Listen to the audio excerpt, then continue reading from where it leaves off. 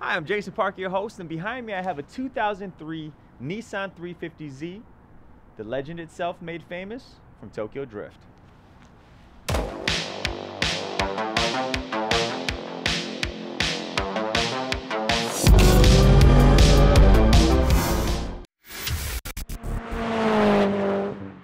What's up guys? I'm Zach and this is why I drive a 2003 Nissan 350Z.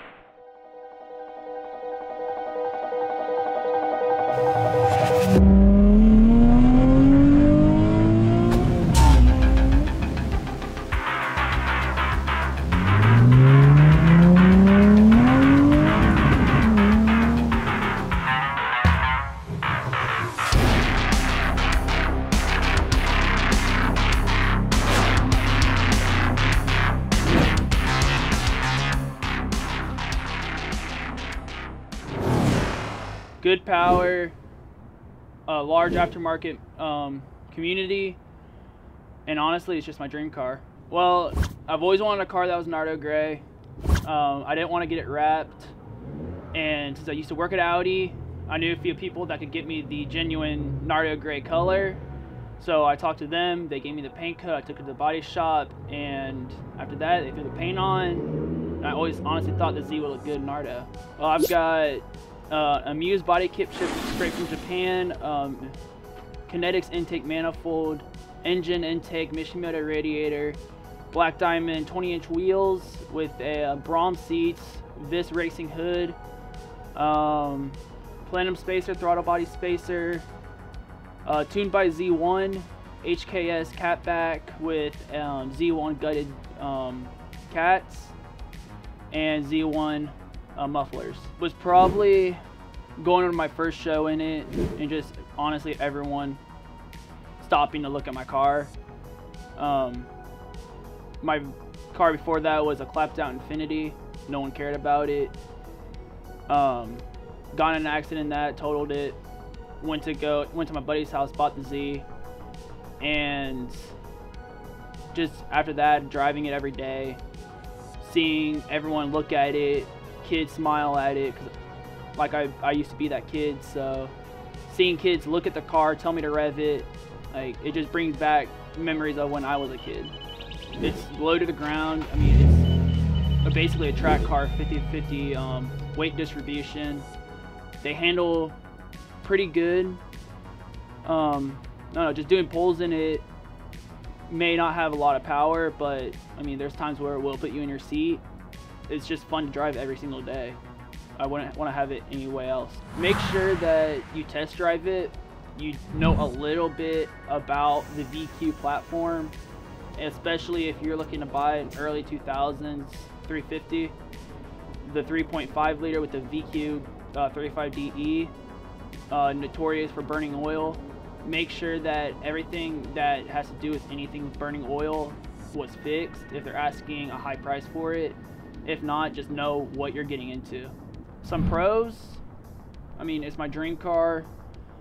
Um, I've always really wanted a Z. Um,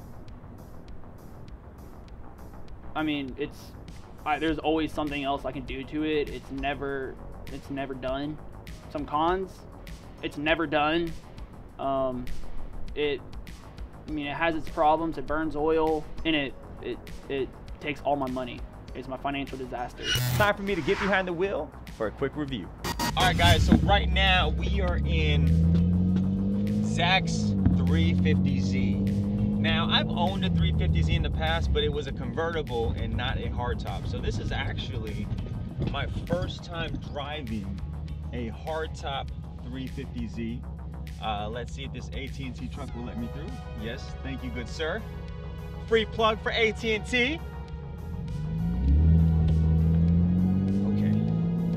So sitting in the 350Z, there's a lot of leg room. There's a lot of space. The uh, roof kind of comes down, slopes down, but you you you have clear visibility out the windshield. The actual dash is kind of high. Uh, it, it's it's kind of think of it like a like a bubble. It's kind of like a bubble in here. So your blind spot is literally right over your shoulder. So if you're gonna kind of make a turn and you're kind of looking over your shoulder, that blind spot right there and right there is pretty big. But comfortability, it's comfortable. It drives literally just like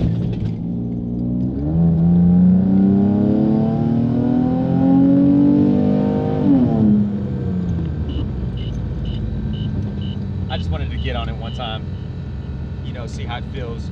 He actually has airbags in here, so what you're hearing in the back is his compressor. All right, so yeah, the 350Z is really smooth. It has adequate power. Uh, it feels very spacious in here. It's very loud. You can definitely hear the exhaust. But the suspension, even though he has airbags in it, it's not too hard, right? It's not super stiff. The ride is pretty smooth. Uh, the cockpit here is very open. Nothing's really focused to you. Everything's kind of neutral. You have your gauge, you have your RPM, your fuel, your heater, then you have your infotainment system. But it's dead center. It's not kind of faced towards you for you to kind of go like this. It's it's just dead center. Everything's open. It almost feels like like it was a sedan that they made into a coupe, if that makes any sense. That's what it feels like in the front. It almost feels like a sedan without the back seats. You have this this sloping roof line, but you have a lot of space in here. There, there's a lot of leg room. Like my legs can literally stretch out. I'm I'm 5'11". There's a lot of headroom. I would say about five inches. you got your uh, AC uh, cluster down here. You have your oil temp and your volts here. But you know that's really that's really about it. Seating in here is not too bad. Power is adequate for the car. It's not the fastest thing on the road. It's not the slowest thing on the road. Um, it could definitely let loose if you wanted to, but the 350Z was made popular and became an icon from Tokyo Drift from Fast and the Furious. You know, when DK pulled up in that, that 350Z, it was game over. Everyone wanted a 350Z. And I could kind of see that. But I don't feel like the 350Z from the cockpit is like this super driver centric focused car. It feels more like a like a couped sedan that's rear wheel drive with close to 50-50 weight distribution. Um, it doesn't quite feel as tight and nimble. As, it doesn't feel as tight as the S2000, especially the AP2, but it doesn't quite feel as nimble as the Miata, if that makes sense. It feels a little heavier. Um, it doesn't seem like it does anything absolutely great, but it's good enough. Everything in the car is just good enough. The styling is fantastic. I think it's aged really well. Uh, the suspension, the power, the motor, everything about this car is just, to me, is good enough. So if I were to give it a point system, I'd probably give the 350Z like a 6.7 across the board, everything. These seats uh, hug you pretty well, but these are not stock 350Z seats. My stock uh, 350Z seats um, didn't hug quite as nice as these do. But outside of that, I mean, it's definitely a good buy for someone looking for a, a like if you wanted to make it just a super track car and gut it out and everything, you could definitely do that. If you're looking for your first car and you want something sporty and tuner with a great aftermarket, um, uh, uh, great aftermarket support, this is the car to get. If you want something that's ready available, the Nissan 350Z is definitely, definitely a good choice. Now let's check out a little POV action.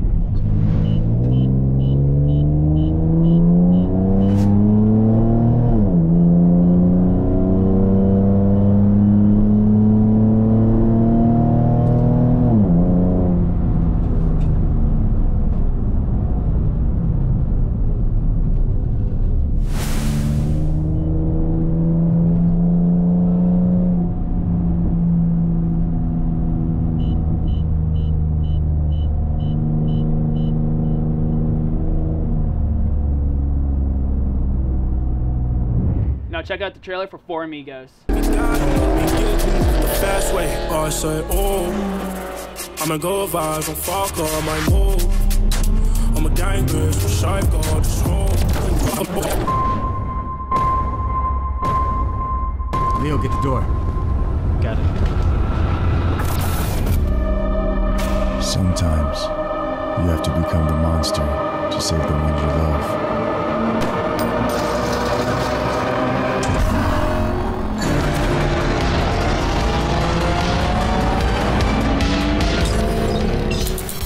Your mother's labs came back in.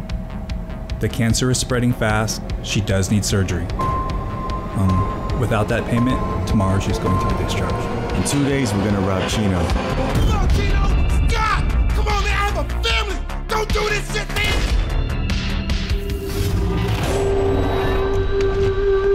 I mean, there's got to be another way. There is no other way, Leo! If we don't rob Chino right now, my mom is as good as dead! I'ma go viral.